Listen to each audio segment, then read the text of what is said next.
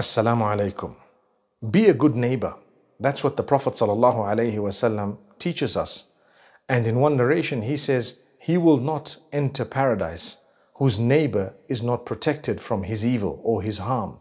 So if you were to harm your neighbor in any way, Allah Almighty would definitely hold you accountable, responsible, and you may be punished depending on what it is. So you need to be the best possible neighbor. MashaAllah. And this is why the Prophet ﷺ has taught us to search for good neighbors when purchasing a home or shifting into a new house. Make sure you've acquainted yourself with who the neighbors are. Imagine a high rise building, you have an apartment where your neighbors are inconsiderate. Subhanallah. And this is not just when you're living somewhere, although primarily that's what it refers to. But anytime you interact with people and you're next to them, be the best possible person you could be, no matter who they are. If they're Muslim, they have a double right. If they're Muslim and they're related to you, they have a triple right. And even if they're non-Muslim, they still have a right, uh, you know, that you need to fulfill when it comes to your neighbors. So be a kind neighbor, Make sure that you don't harm your neighbors in any way, be it with noise, be it with uh, smoke, be it with, uh, you know, this aroma that sometimes people find uh, not so aromatic.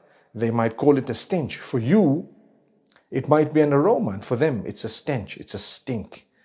Uh, you know, sometimes you smell food and you say, ah, mashallah, that's beautiful. I, I wish I could have a bite, right? And sometimes you smell some people's main dish and it, you just have to block your nose and hold it and say, I can't even, you know, stand the smell. But one man's meat is another man's poison, as they say. So, subhanAllah, what we need to do is be considerate of your neighbors.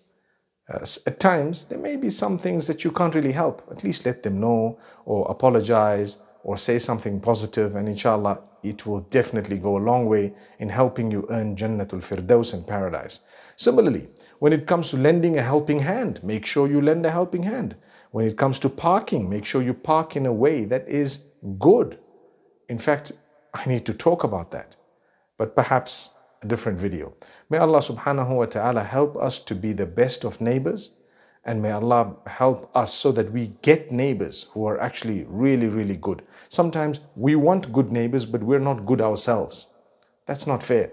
Be good yourself and see what happens. May Allah bless everyone. Assalamu alaikum wa rahmatullahi wa barakatuh.